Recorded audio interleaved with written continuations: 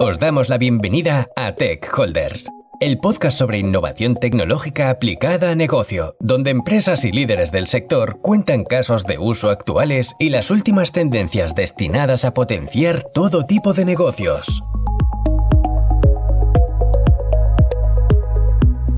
Bienvenidos a Tech Holders, soy Alex Hidalgo y hoy vamos a hablar de innovación. Y para ello vamos a contar con David Hurtado, que nos acompaña en el día de hoy. Antes de nada, vamos a presentarnos como, como debe de ser. Y David Hurtado es a día de hoy es responsable de innovación en Microsoft. Y la verdad es que lo primero de todo, antes de seguir un poco introduciendo el tema de lo que vamos a hablar y tal, es cómo has llegado a ser responsable de innovación. ¿Qué significa ser responsable de innovación en Microsoft? Muy buenas, Alex. Oye, ante todo, muchísimas gracias por invitarme. Em, creo que va a ser muy divertido esto. Lo de responsable de innovación es curioso, porque en Microsoft, una empresa como Microsoft en España, te puedes imaginar, casi todo el mundo es especialista de, algún, de alguna tecnología. Y yo soy un poco un rol eh, un poco distinto, soy un poco generalista. Eh, digamos que me encantan todas las tecnologías, eh, no soy especialista en nada, ¿no? Entonces, mi rol consiste más bien en buscar con los clientes escenarios de uso interesantes donde les pueda ayudar cualquier tecnología y luego aplicar la tecnología más tarde, ¿no? Pero es más centrado en el escenario. Muy bien. ¿Y, cómo ha llegado? ¿Cómo es el camino para llegar hasta ese punto? Porque suena muy atractivo, o sea, como rol, la verdad es que dentro de Microsoft suena increíble. Entonces, ¿cómo se llega hasta ahí? Pues, pues la verdad es que es un camino curioso. Decía un poco que es un rol, es un poco una excepción mi rol. Em, yo soy, bueno, lo primero de todo, yo estudié administración de empresas eh, y luego me metí en esto de la informática, que es lo que me gustaba, siempre con la sensación del intruso aquí, ¿no? Entonces, esa sensación me ha llevado a, estudiar un montón todo tipo de tecnologías em, para, para, estar un poco al día con los, con los ingenieros y, luego, claro, que me ha pasado que soy muy entusiasta de todas las tecnologías, de casi cualquiera, ¿no? ¿no? No, soy nada fanático de ninguna. Entonces eso me ha llevado a que, a que en una empresa como Microsoft, que tenemos una familia de productos enorme, pues, pues querer abarcarlas todas. Entonces, em, pues eso es lo que me ha llevado a la vida. Me llevaban cuando era consultor a un proyecto de integración y hablaba de aplicaciones. Me llevaban a un proyecto de intranet y hablaba de inteligencia artificial. Y así he llegado un poco a hablar, a hablar un poco de todo en los clientes. Para quien no conozca a David, David es como o sea, para mí es como un influencer ya, que se podría decir, ¿no? Por ejemplo, en, LinkedIn, ¿no? Pues no sé cuántos cuántos seguidores tienes a día de hoy. Eh, bueno, no mucho, no lo miro mucho, eh, porque estas cosas creo que obsesionan, podría obsesionar. Eh, entonces me, entraría en ganas de hacerme un canal de YouTube y estas cosas. pero me hace mucha gracia porque, porque mucha gente dice, no, es que tú sabes mucho de todo.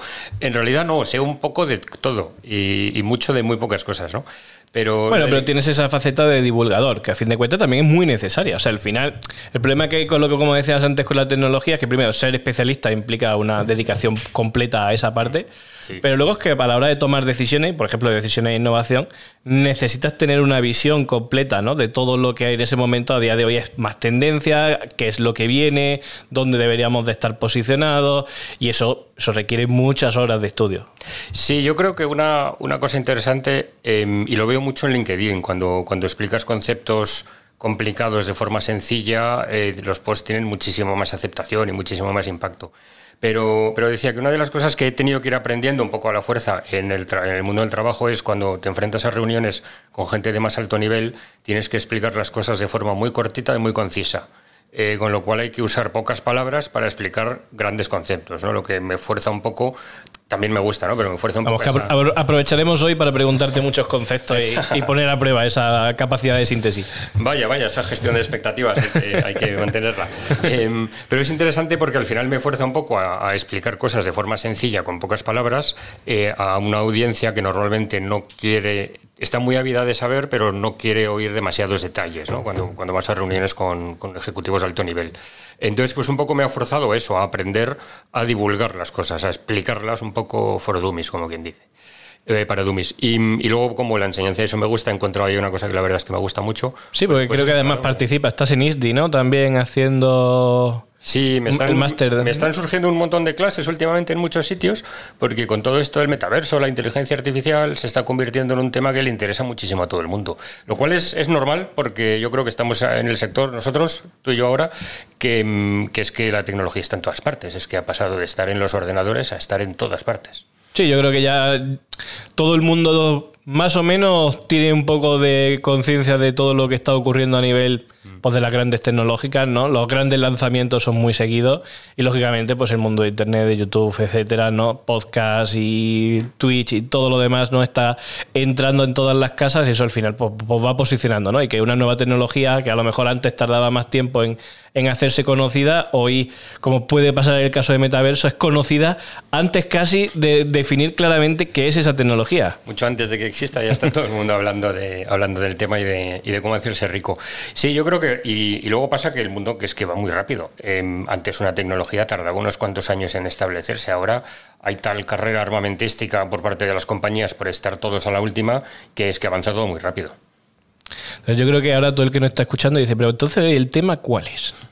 Bueno, pues creo que hoy vamos a hablar sobre todo de innovación, que al final es un poco pues de lo que va el podcast, pero sobre todo hoy vamos a aprovechar que con David pues que nos cuente sobre todo anécdotas, ¿no? O sea, de cuando uno se enfrenta a, ya sea por, la parte de cliente o seguramente también por, otro tipo de canales o medios, o sea, el cómo, el cómo hablar de, de, innovación y sobre todo de innovación disruptiva, ¿no? O sea, aquella tipo de innovación que no es solo una evolución del modelo y del caso actual de negocio, sino que implica romper, que implica salirse de la zona de confort y de ir a, hacer una innovación más original y, que de verdad sea un paso, ¿no?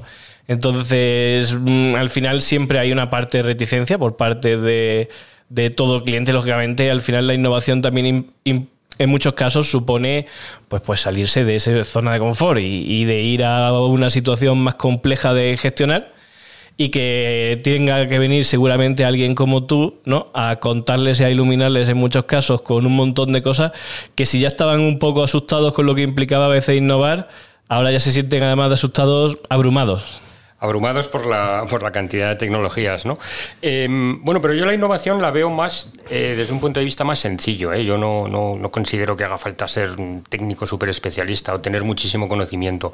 Y un poco en, a lo largo de mi carrera, y hablabas de, de anécdotas, eh, pues lo que me ha pasado es que me llevaban a reuniones en las que normalmente no se requiere un especialista, sino alguien que dé una visión un poco más amplia y yo lo que solía hacer es ser mucho más llano y ponerme en los zapatos del cliente. Por ejemplo, me acuerdo una de estas primeras reuniones grandes, pues era con una, con una gran agencia de viajes con los que yo había viajado ese verano y lo que se me ocurrió es sacar allí los, los billetes de avión y, y, todos los bonos de la agencia, de ellos mismos, de la agencia de viajes, explicarles cómo había sido mi experiencia de cliente y cómo, la podría, cómo creo que podría mejorar con el uso de algunas tecnologías, tipo inteligencia artificial y un poco con algún servicio cognitivo y, alguna cosa de estas. Y me acuerdo que les llamó mucho la atención porque dijeron, hemos venido a Microsoft a que nos expliquen cómo vender un viaje nuestro. Que la experiencia fue muy buena, de hecho yo les ponía a ellos como, como buen caso. En, en realidad lo único que hice fue ponerme los zapatos del cliente que ya era, ¿no? Y la verdad es que lo hacemos mucho eso. Eh, hemos tenido reuniones con, pues lo mismo, ¿no? me acuerdo con el CEO y el CFO, el responsable financiero de una gran empresa de clínicas dentales, em, y hubo risas en la reunión hablando de anécdotas con los dentistas y el CEO decía, es la primera reunión que veo que nuestro financiero se ríe, pues porque hablamos de cosas llanas, ¿no?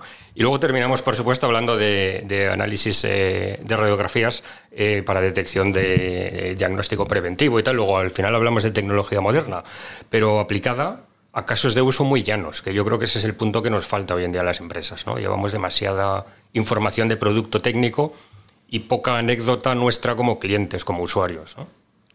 Pues yo creo que sí, creo que acerca bastante, ¿no? Al final algo que lo que podéis caer, por ejemplo, en Microsoft es en esa parte de, de controlar muy bien vuestro producto, al final posicionar ese producto y muchas veces es más importante ponerse en la piel ¿no? del cliente porque al final, por lo que decíamos, la, la aventura de innovación no es solo un tema de conocer productos, es un tema de entender su negocio y de de verdad aportar valor en, cómo ayudarles ¿no? en todo ese, en esa travesía de la innovación.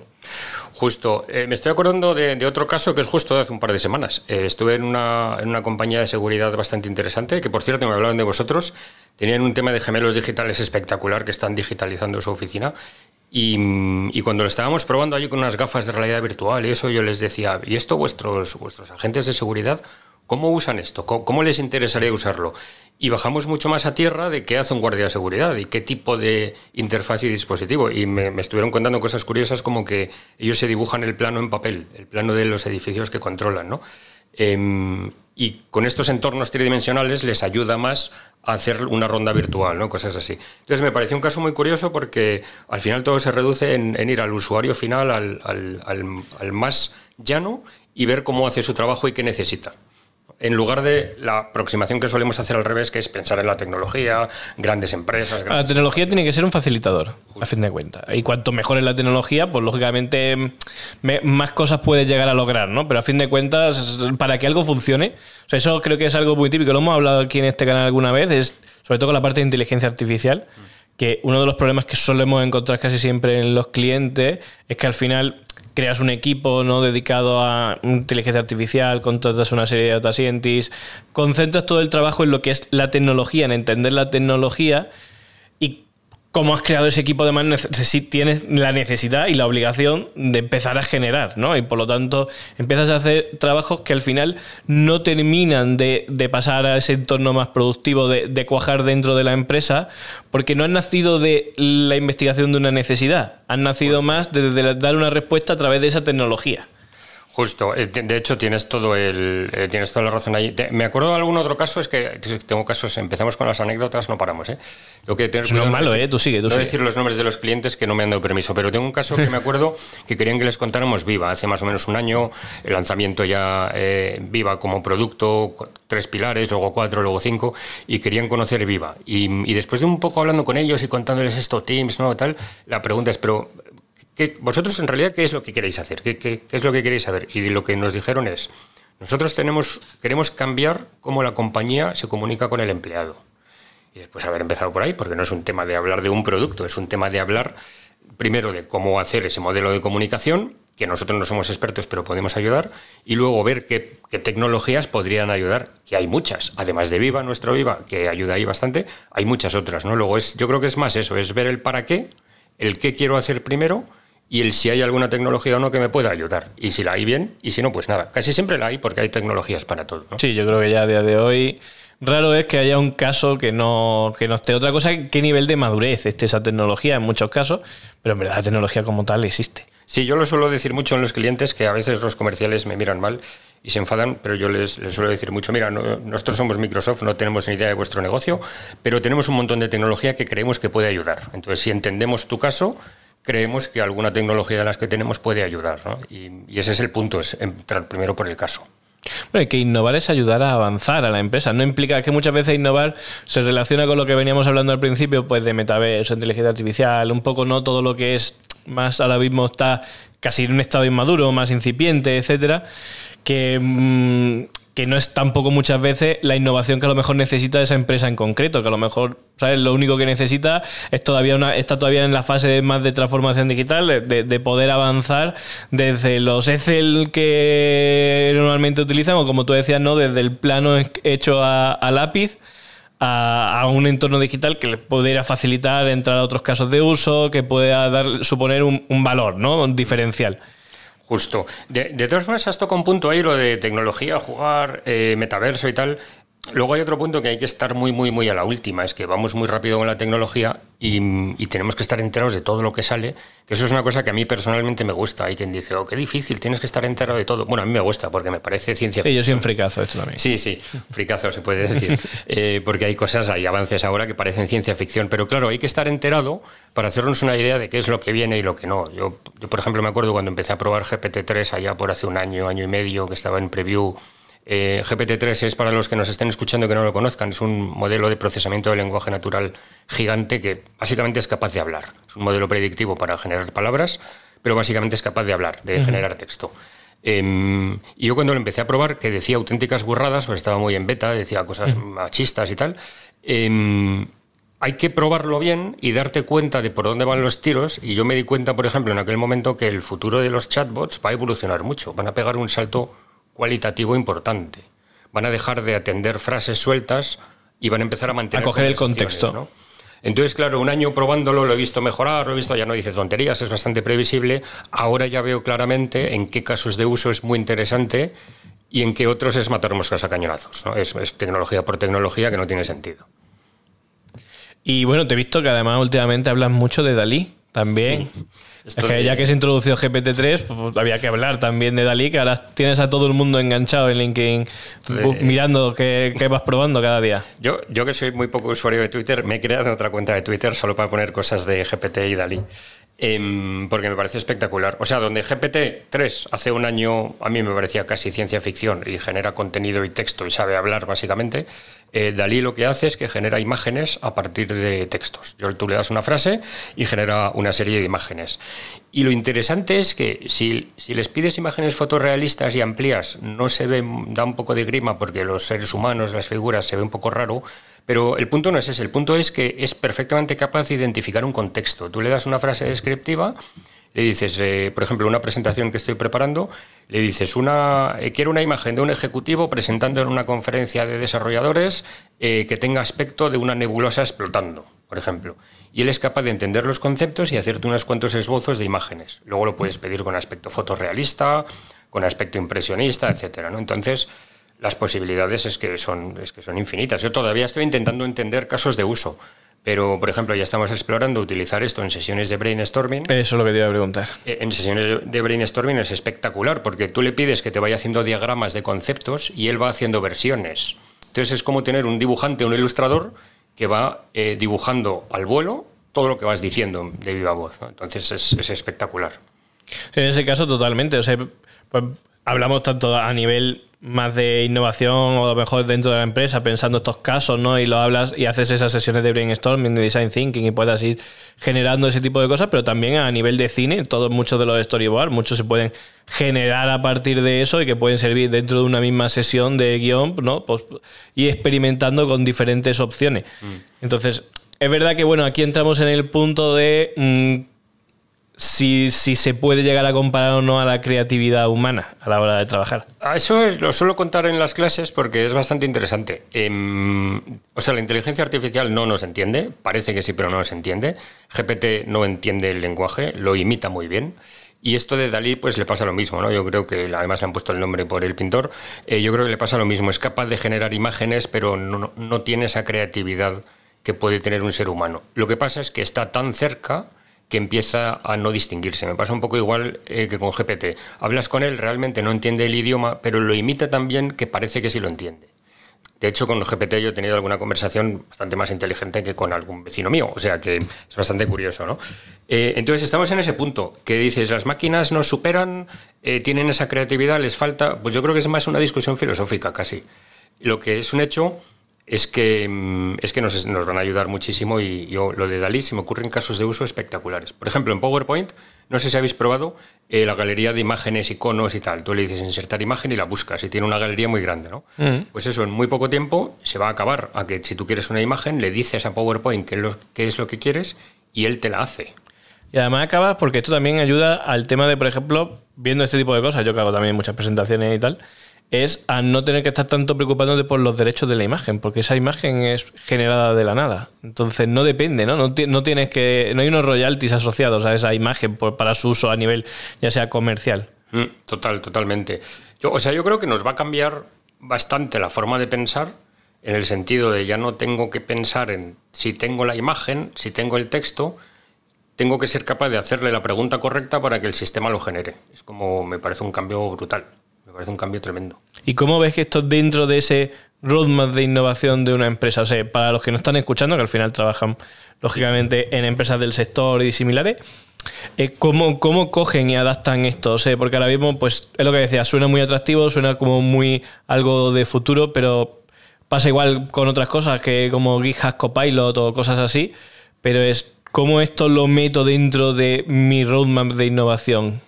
Sí, eso es bueno. Eh, justo el otro día estaba con un cliente y estábamos presentando una propuesta alrededor de una, de una iniciativa de metaverso, una experiencia inmersiva y tal. Y alguien dijo, ¿cuál es el retorno de esto? El retorno, ¿cuánto dinero nos va a dar esto básicamente? ¿Cuánto vamos a ganar por hacer una experiencia inmersiva de metaverso? Inmediatamente el CEO se dio la vuelta y dijo, nada porque esto es pura innovación, lo hacemos para aprender, para cuando de verdad sea negocio.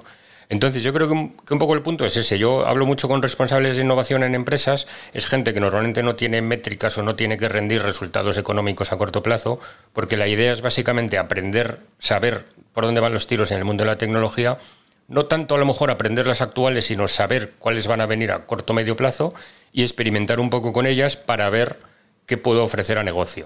Y negocio es el que lo cogería. Em, entonces eso tiene el problema de que es un centro de coste, claro, no es un centro de beneficio. ¿Y no crees que eso a veces les deja demasiado alejados de la realidad de la empresa? Sí, por eso tiene que haber una relación muy cerca con producto y muy cortoplacista, en el sentido de yo experimento con tecnologías que te paso y buscamos el retorno y si no tiene un retorno rápido apago y otra cosa, porque si no corremos el riesgo de pasar. ¿Y crees que funciona mejor siendo innovación el que decide hacia dónde ir o el de negocio el que decide hacia dónde debería ir innovación? Bueno, yo más los veo como colaborando juntos, como, como dos departamentos o dos áreas que trabajan juntos hacia el mismo objetivo. Negocio tiene que estar abierto a probar cosas nuevas, que eso es difícil, eh, cada vez menos, pero es difícil que negocio esté, esté dispuesto a el probar primer, El primer problema es que suele, suele haber temas de, plazos. al final, el que está más trabajando en el corto plazo le cuesta más no entender un poco al final el trabajo que se hace a tres, a cinco años vista, que lógicamente, al tener un impacto más lejos de, tu presión actual, muchas veces te cuesta ¿no? llegar a tener esa relación tan estrecha con... Claro. O sea, yo creo que esa relación tiene que existir porque el negocio claramente tiene sus objetivos y, sigue mucho la, la, vía de si funciona no lo toques y trata de mejorarlo, porque el negocio es lo que es y para qué vamos a experimentar.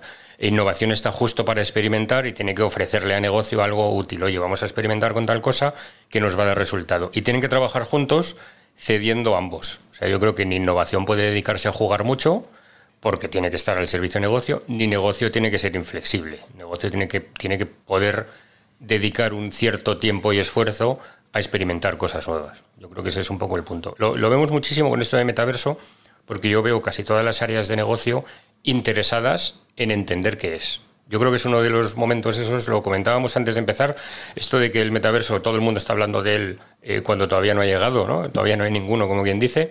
Em, entonces yo veo todas las áreas de negocio muy interesadas en intentar entender qué les puede dar esto. Eh, entonces es un buen, ese es un buen ejemplo, yo creo, ¿no? que innovación está para explicártelo, explorar contigo casos de uso. Eso sí, creo que te lo preguntaré más, más al final.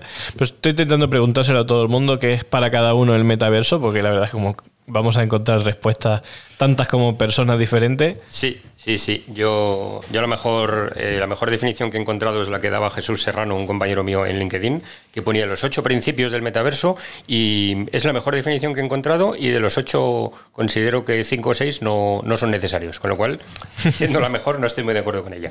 Pero es que yo creo que depende de si miramos a corto plazo o a largo plazo. A largo plazo, eh, esto va de un, único mundo inmersivo en el que yo entro y salgo, un poco la película Ready Player One. ¿no? Em, puede, estar más acertado o menos el concepto, pero es un, único mundo que está ahí y que yo entro y salgo y que tiene su propia economía interna, etc. Em, y yo creo que ahí los ejemplos son pues, películas de ciencia ficción y algún tipo de central, así, si mejorara la experiencia. Pero es que yo veo a corto plazo hay muchísimo más trabajo. Yo creo que eso va a tardar 10 años en llegar y a corto plazo es simplemente empezar a dotar de experiencias inmersivas a las aplicaciones habituales. Y, claro, eso un purista te dirá que no es el metaverso, eso no es más que un videojuego online, o no es más que llevar la experiencia de un videojuego online a otra aplicación. Pero yo creo que a corto plazo es lo que, va, es lo que vamos a ver. Y, si te fijas, eh, la evolución es una evolución muy lógica. Estamos pasando en la red social, por ejemplo, de mantener conversaciones escribiendo en una página web con el móvil, a que mantengamos las conversaciones de viva voz en un entorno tridimensional. Te voy a decir, digo, porque a ver, ahora hay mucha discusión sobre el tema de qué es o qué va a ser el metaverso, si cuándo, cuándo se podrá llegar a decir ¿no? qué es el metaverso. Pero bueno, esto también se podía ver, si echamos años atrás, podía ocurrir lo mismo con las redes sociales. Y es que al final no es una cosa exacta que se vaya a poder definir, es una cosa que va a evolucionar y que irá cambiando según los casos de uso y que tampoco, yo tampoco la espero como una red única, sino como va a haber muchas y, cada va a haber muchas especialistas, algunas más genéricas, algunas más de consumo, algunas más de empresa. O sea, yo creo que al final, pues tantos casi como mundos virtuales se puedan llegar a generar y que va a depender un poco de lo que vaya buscando cada uno. Sí, mi sensación es que vamos a hablar mucho de cuándo va a llegar el metaverso y de repente un buen día vamos a estar ahí y anda, pues ya hemos llegado. Y es básicamente que la siguiente versión de Internet es un entorno inmersivo, básicamente. Yo creo, que, el cambio cuando tuvimos de los SMS a los WhatsApp o similar, ¿no? Paso por BlackBerry, eso fue nada. O sea, no hubo un momento en el que ya nadie sabía lo que era lo, de antes. Yo el, más, el, más espectacular que he visto ahí es el paso al concepto del smartphone todo pantalla táctil. Pasamos de un teclado que servía en el teléfono para poder mandar mensajes a, de repente, una experiencia mucho más rica en una pantalla grande táctil y la red social. Y de repente teníamos todos un mini ordenador con acceso a Internet en el bolsillo, mucho más que lo que era una BlackBerry. ¿no? Y esto en la empresa, en las reuniones en las que estás bueno, tienes la suerte también por tu posición de, participar. ¿qué tipo de innovaciones habéis encontrado últimamente que, que, hayan marcado un antes y un después?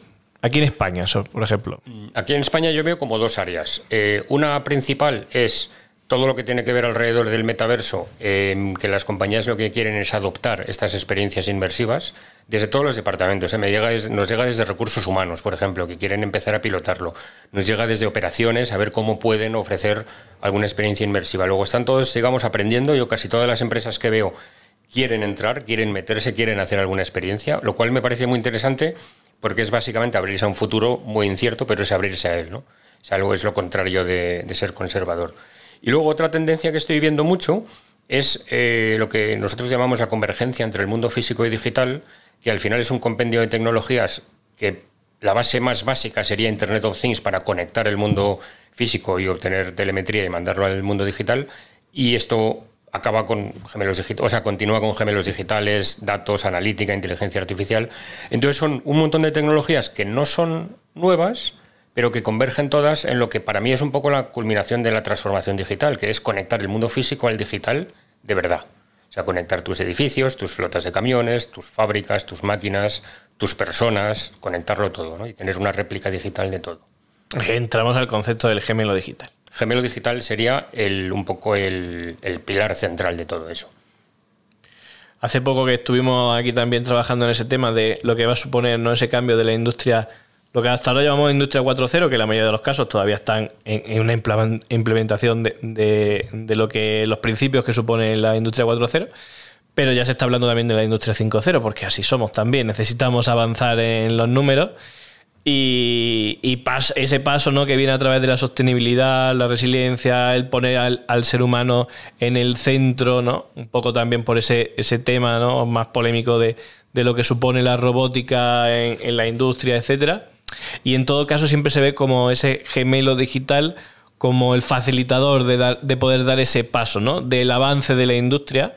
Creo que ya hay ejemplos muy buenos que se pueden encontrar por ahí, ¿no? De, a la hora de, de poder hacer esa poder tener esa información digitalizada de lo que podría ser, por ejemplo, pues tu nave industrial o etcétera, ¿no? Y poder realizar ajustes y simulaciones, porque al final una de las cosas que nos da el entorno virtual, que hemos estado hablando de metaverso, etcétera y tal, es el poder simular, el poder probar de una manera mucho más eficaz y mucho más barata que hacerlo en el mundo físico. Entonces, ya no solo por el poder ajustar diferentes procesos a ver cómo, cómo funcionan ¿no? en este mundo virtual, sino pues lo que ahora, por ejemplo, está empujando más, ¿no? lo que hablamos también mezclando con metaverso, que al final no dejan de ser también una implementación de miles de gemelos digitales, es el, el, tema de cómo, por ejemplo, un producto, ¿no? Cómo se va a posicionar, cómo poder probarlo de una manera mucho más rentable, como están haciendo muchísimas marcas de ropa, etcétera, antes que poder antes que sacarlas a fabricación, porque ahí pues tienes una toma de contacto con el cliente final. Y creo que como esos casos vamos a tener mucho, tanto a nivel hacia el cliente como hacia el empleado. Es decir, poder experimentar de una manera mucho más rápida, flexible. O sea, ahí eso, ¿cómo crees que va a cambiar Em, pues justo estamos viendo, yo estoy viendo ahí un salto interesante en los últimos meses, te diría. Y es, en el tema de los gemelos digitales, me pasa un poco, salvando las distancias como con el metaverso, que hay distintas definiciones. Hay, hay quien lo define como un modelo tridimensional de un objeto que representa sus cualidades, eso sería la representación. Para mí eso es más la visualización del gemelo que es, que es pues, que yo pueda ver mi maquinario, que yo pueda ver mi edificio y moverme en tres dimensiones por dentro del edificio. Y luego hay otra visión distinta del gemelo digital, que es capturar sus datos. Tenerlo conectado. Es que para mí, si no, no sería un gemelo digital. Justo, que es, es tenerlo conectado y tener el funcionamiento a partir de los datos del aparato. Si es una máquina que fabrica, pues tener todos los datos de telemetría para poder ver eh, y replicar exactamente lo que hace en la nube. ¿no? Entonces yo creo que en realidad hacia lo que estamos yendo es a que el gemelo digital son las dos cosas. Tener los datos de la máquina replicado en la nube y la visualización tridimensional. Cuando tengo eso, puedo hacer como muchas cosas, pero la primera que se me ocurre es que puedo ver cómo está funcionando la, máquina, analizar cómo está funcionando sin estar físicamente cerca de ella, incluso con una experiencia rica, puedo ver el robot moviéndose sin estar em, eh, en la fábrica, sino que lo veo en remoto. Lo siguiente que puedo hacer es lo que has dicho, hago una réplica o una copia de esa digital, del gemelo digital, y empiezo a hacer simulaciones. Oye, ¿qué pasa si le meto más carga? ¿Qué pasa si le duplico el tiempo de trabajo?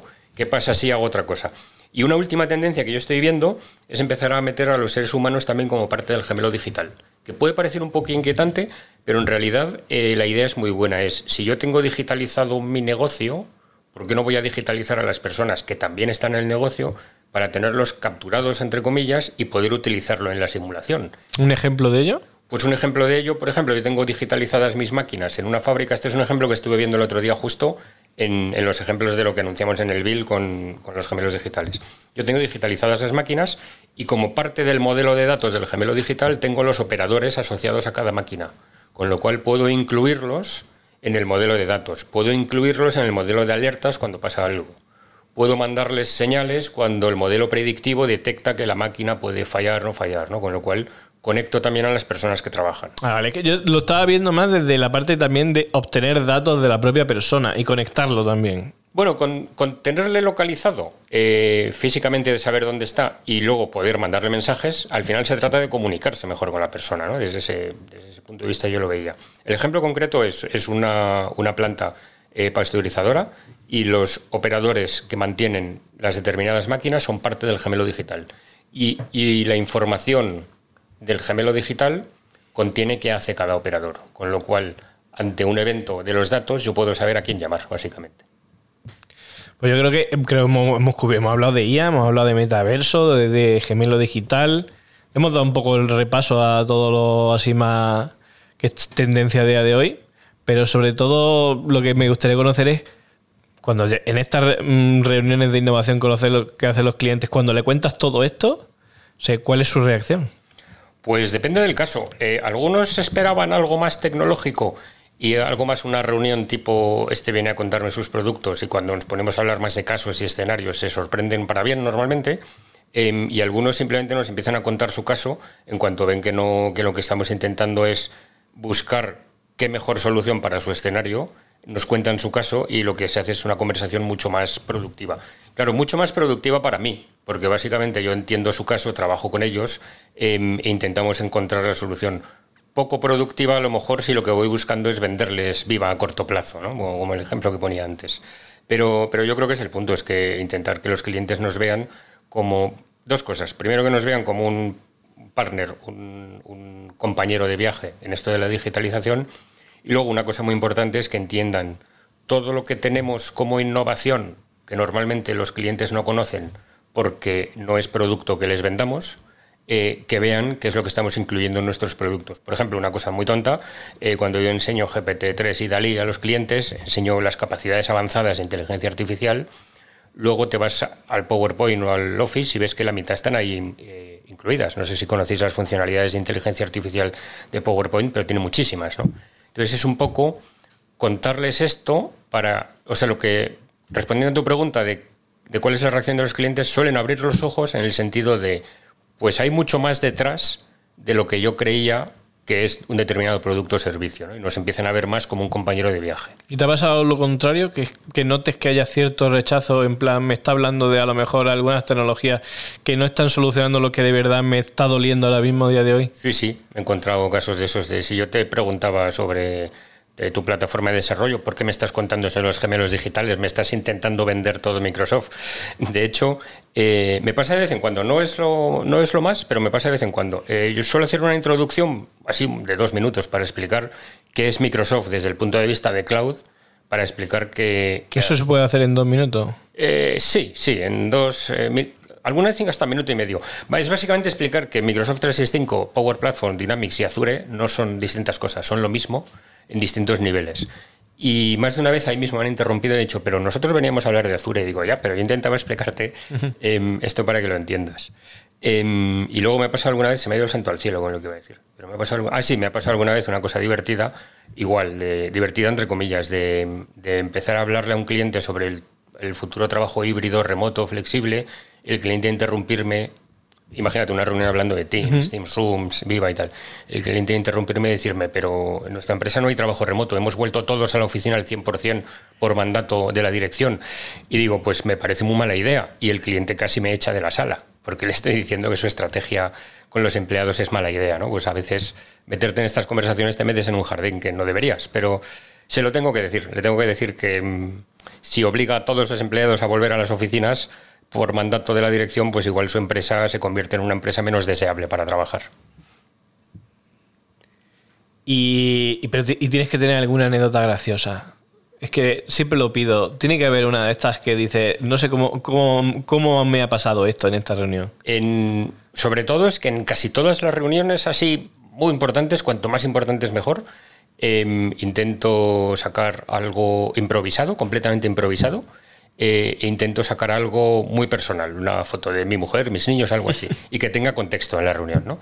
Últimamente enseño lo de que uso GPT para mandarle mensajes a mi mujer. Y, mm, cuéntanos, cuéntanos más de eso. Tengo, yo me muevo por ahí en moto y a mi mujer le da miedo, se cree que cada vez que cojo la moto se cree que me voy a matar.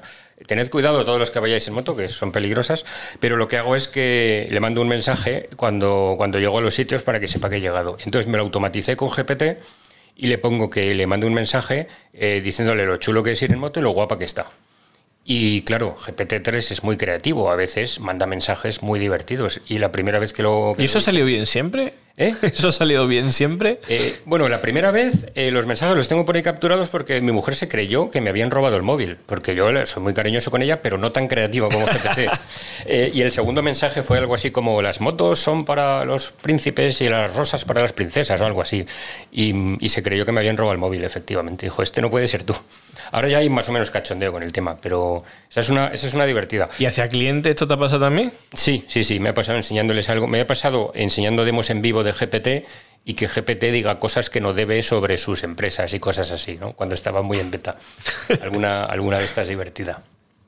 Lo que tiene la innovación, ¿no? Que también tiene su peligro añadido. Y, luego tengo otra anécdota curiosa, em, que es, y es que hace... Todo esto empezó, yo hacía cosas muy variopintas en Microsoft, un poco de todo, y se nos planteó la opción en 2017, creo que fue 18, eh, voy bien, ¿no? No me estoy pasando de tiempo ni nada. No, no te preocupes. Eh, se nos ocurrió la idea de en un evento muy grande que hacíamos, eh, cuando yo todavía no era responsable de innovación ni nada parecido, hacer una charla donde cubriéramos todas las tecnologías Microsoft y que la charla fuera la keynote que va inmediatamente después de nuestra presidenta y hacerla toda dibujada con un compañero, con David Sucillo. Y claro, nos presentamos ante el responsable de comunicaciones de Microsoft a proponerle esto. Oye, que vamos a hacer una charla dibujada. Yo me acuerdo de esa, ¿eh? Yo estaba en esa. Vamos a hacer una charla toda dibujada, eh, así dibujitos hechos en OneNote a mano, mm. que nadie hacía esto en 2017, eh, ante los 3.000, las 3.000 personas que va a haber en, Era en Kinépolis. entre Kinépolis y eh, las varias salas que había ahí en streaming. Y vamos a contar todas las tecnologías Microsoft. Y los nuestros de comunicaciones pues no entendían muy bien qué queríamos hacer, pero ¿por qué queréis hacer eso? Esa locura y, dibujado y mal dibujado, porque tampoco es que dibujemos bien. Em, y fue muy curioso, nos costó un buen par de horas largas convencerles que era buena idea y, hasta el último minuto les parecía malísima idea, estuvieron sufriendo mucho. Eh, pero yo creo que tener a los de comunicaciones y a los ejecutivos siempre un poquito nerviosos por la improvisación viene bien. ¿Y, crees que ocurre lo mismo cuando los departamentos de innovación tienen que mostrar su trabajo? Yo creo que un poquito sí, hay que improvisar un poco y ser un pelín disruptivo, no, no ser demasiado políticamente correcto. Creo que, y eso es una de las cosas que me gusta hacer, que casi nadie hace, y creo que es lo que suele gustar, que es hay que ser mucho más natural y decir las cosas tal cual las piensas un poco y sin faltar el respeto a nadie, claro, pero ser un poquito más disruptivo y natural, menos políticamente correcto. Y algo que mm, siempre en todos los programas hablamos y dedicamos unos minutillos es ¿y qué crees que no funciona? O sea, cuando hablamos de innovación y que al final cuando tú te enfrentas a ello delante de los clientes y demás, ¿qué, ¿qué, te encuentras siempre que crees que, ya sea por el sector o por la gente, está haciendo que, que por ejemplo, en España no, no estemos considerados ¿no? como uno de los países innovadores, ¿no? Siempre estamos fijándonos en el resto y no tanto en lo que se hace dentro. ¿Qué, nos impide dar ese paso? Yo creo que la innovación muchas veces se ve como pilotos y prototipos y pruebas de concepto, em, incluso cuando se acepta, se acepta hacer una prueba de concepto, lo cual puede, puede salir mejor o peor, pero em, lo que ocurre es que cuando sale una prueba de concepto, sale bien la innovación y se decide hacer un proyecto, todo el proceso de generación de un proyecto RFP, respuesta por escrito, toma de requisitos, todo eso no funciona. O sea, yo eso lo llevo viendo toda la vida. Cuando algo te dicen van a sacar una RFP, dices, pues dentro de un año estarán decidiendo algo que no es lo que ahora querían hacer. Eh, todo el proceso general de RFP me parece un, un, enorme error, pero se lleva haciendo en la industria durante más de 20 años, o sea que tampoco creo que lo vayamos a poder cambiar. Entonces creo que me falta eso, me falta el pasar, el coger un piloto y rápidamente llevarlo a mínimo producto viable y ponerlo en producción. Eso es lo que yo creo que no hay cultura en este país. Sí, crees que todo el mundo está siempre enfocado en la solución final, en cómo va a quedar. Y lógicamente, en muchos casos son. Nosotros lo vivimos también, lo he vivido mucho en mi, propia persona. O sea, al final está intentando encontrar una solución que probablemente para el año que viene ya no es la solución válida. Entonces, al final dedicas mucho esfuerzo y recursos en algo que no Claro, no solo eso, o sea, no solo la idea de que todo el mundo está pensando en el producto final y lo que estamos haciendo justo es experimentar rápidamente para aprender, sino la idea es que cuando ya por fin, vale, he visto el experimento y me gusta y quiero llevarlo a cabo, muchas veces el proceso es largo y tedioso y se pierde por el camino con, todo lo que decía del proceso de RFP, escrito, requisitos, detállamelo por escrito, ahora hago un concurso de proveedores, ahora tengo que empezar a comparar ofertas distintas sobre papel, cuando esto te lo tiene que contar alguien, una experiencia, el por qué una experiencia inmersiva de metaverso con gafas de realidad virtual es buena, no lo puedes explicar en un RFP. En un RFP, mucho menos si el formato es contestar una Excel con filas y columnas. Esto hay que contarlo de palabra con unas gafas en la mano, ¿no? Entonces yo creo que falta un poco eso. El, oye, me ha encantado este, esta prueba de concepto, vamos a hacer un mínimo producto viable y probarlo en producción mañana con clientes o el mes que viene. De hecho, a vosotros os veo mucho que tenéis algunos proyectos realmente innovadores que yo los enseño por ahí y digo, y esto, llevarlo a cabo en el cliente es lo que me da pena, que parece mucho más costoso de lo que realmente sería si fuéramos ágiles. Sí, porque muchas veces hay proyectos ¿no? que aunque que son simples de entender y que lo mismo llevan años de trabajo, y luego pasa muchas veces lo contrario con, con, algunas tecnologías de innovación, como puede pasar con blockchain o con toda esta parte que decíamos de digital twin, etcétera, que muchas veces por desconocimiento se cree que los plazos a lo mejor de este tipo de proyectos pues son muchísimo más largo, cuando en verdad se pueden hacer pilotos en muy corto tiempo y se puede validar las ideas muy rápido. Sí, justo. De hecho, de hecho, yo creo que lo que son metodologías ágiles y forma de trabajar ágil en la parte tecnológica está totalmente asumido hace años ya y, bueno, los técnicos trabajáis rapidísimo en esto.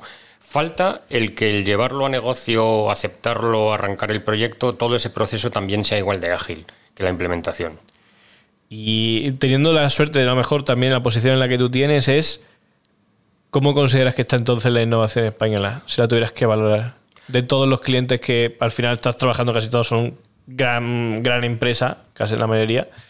¿En qué punto crees que están? Pues yo hace un año y medio dos te diría que mal y ahora te digo que creo que muy bien, porque estoy viendo en las grandes empresas, nuestros clientes enterprise, en el segmento grande, estoy viendo que los departamentos de innovación se les está dando bastante más importancia y se les está dando bastante fondos, que eso es algo que innovación tradicionalmente eran los pobres de la compañía, ¿no? Los que, bueno, no tienen que rendir cuentas, pero cambio nunca tienen dinero. Y estoy viendo la tendencia opuesta, la tendencia de que se les empieza a creer mucho en innovación, porque yo creo que las empresas se han dado cuenta que la tecnología está en todas partes y en el futuro va a haber cada vez más, ¿no? Entonces veo más, ahora lo veo bastante bien. Eh, hablo con responsables de innovación de grandes empresas y veo que es gente con capacidad de decisión importante, con el suficiente nivel en la jerarquía de la compañía luego, y, con, fondos, que yo creo que es lo importante. Sí, sobre todo que tiene que estar conectado. Pues que al final es lo que hablamos, creo que lo hemos hablado unas cuantas veces durante la conversación. A nosotros nos ha pasado también con realidad aumentada, realidad mixta, además, que hace muchos proyectos, pero al final no pasan de ese piloto pues porque no hay esa conexión. Al final, Justo, falta esa conexión con negocio. Y luego hay otro tema, es que la innovación abierta está triunfando bastante también. Yo creo que las compañías están viendo que menos, que es más valioso no ser muy, no tener mucho secretismo alrededor de lo que quiero hacer y nutrirme del mercado, de la innovación que hay en el mercado. Entonces, todas las iniciativas de innovación abierta de sector, donde se juntan varias empresas, comparten experiencias, pues yo creo que favorece bastante. Yo creo que sí, totalmente, vamos. Pues por, ir cerrando, porque yo creo que nos llevamos ya, no sé cuánto llevamos, pero creo que... Idea, yo seguiría que hablando todo el día, ¿eh? Pero sobre todo, bueno, como entiendo que también tendrá otras cosas, luego de aquí saldrás a otro sitio. Eh, me gustaría un poco ir cerrando, pues primero, intentando saber si nos puedes contar alguna cosa de un error que hayas visto totalmente cometido a la hora de innovar. El, error más grande que se, te, que te venga ahora mismo a la cabeza es difícil, ¿eh? siempre que pregunto este tipo de cosas.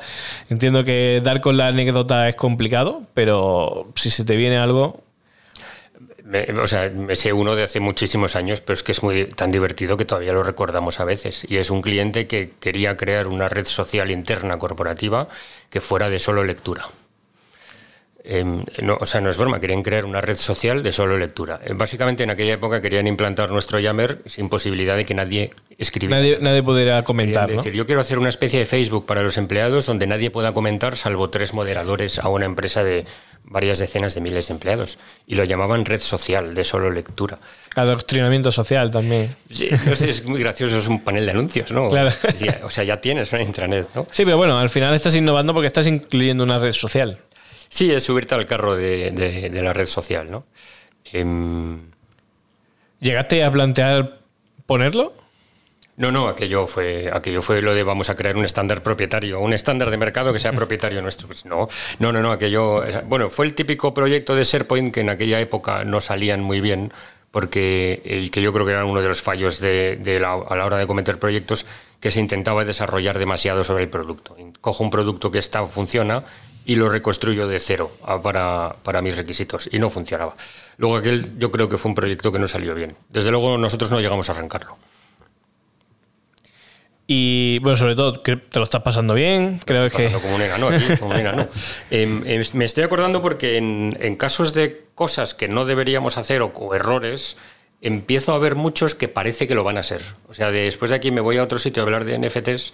Em, y es que es un tema justo ahora de moda con el tema del metaverso que hay mucha gente que lo pega demasiado a las criptos y los NFTs y tal.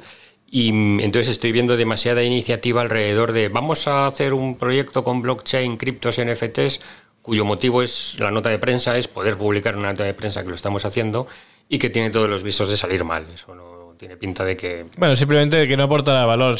Hacerse podrá hacer y al final tendrás NFT de casi todo lo que tiene dentro de la compañía Sí, lo que pasa es que estás quemando esa bala. Em, en el fondo es un cartucho que igual no quieres quemar, ¿no? Quieres, quieres ser el primero en tener una noticia alrededor del metaverso y los NFTs cuando dentro de un par de años habrá, o dentro de un año, habrá casos de uso mejores y tecnologías más asentadas. Ahí lo veo. Depende de quien decida, ¿no? Estar también en ese punto. Efectivamente. Pues. Entonces, sí. Pregunta última ya antes ya nos definiste que era para ti eh, eh, el metaverso, así que esa ya no te la puedo volver a hacer. Medio medio, no sé si me queda a mitad, pero sí, dale.